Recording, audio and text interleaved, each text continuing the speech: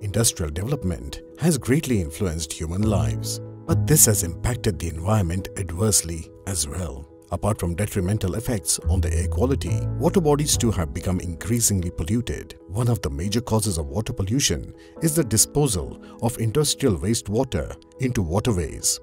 Thus, this is imperative to avoid untreated wastewater discharge to the environment and instead recycle and reuse it for a cleaner and greener planet. Industrial wastewater can be recycled and further crystallized for zero outlet discharge by deploying the technologies like Zero Liquid Discharge or ZLD. These water recycling processes in turn help save millions of liters of fresh water intake with minimum impact on the environment.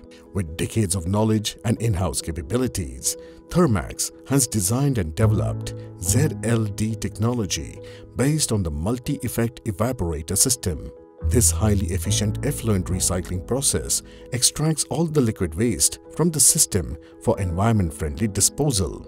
Let's see how this multi-effect evaporator system works. An advanced MEE consists of sequence of stages, heat exchangers and flash vessels. Considering the forward feed mechanism, the heat source is provided at the first heat exchanger. The effluent is preheated with the help of the condensate from heat exchangers and then fed to the first flash vessel. This preheated effluent is further heated in the heat exchanger and flashed inside the flash vessel, resulting in vapor generation and concentrating the effluent. This process happens under vacuum. These vapors are effectively used as the heat source to the next vessel, which results in effective and economical usage of the heat source. This concentrated effluent then moves to the solid separation unit where it gets converted into dry solids for disposal. The vapors are condensed to the purest form of clean water that gets collected sequentially. Our design is energy efficient and optimized that requires up to 40% less steam and zero makeup water for cooling tower.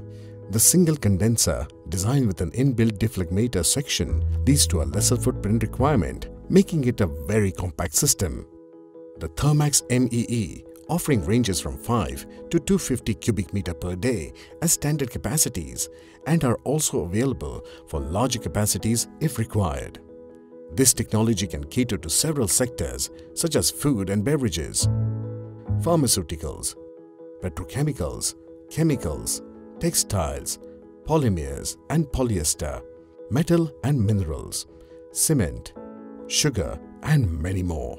ZLD Technologies helps industries to meet discharge and water reuse requirements, enabling them to achieve higher water recoveries, treat and recover valuable materials from wastewater streams, adhere to stringent government discharge regulations. Thermax's advanced multi-effect evaporator, the future of industrial zero wastewater. Thermax, conserving resources, preserving the future.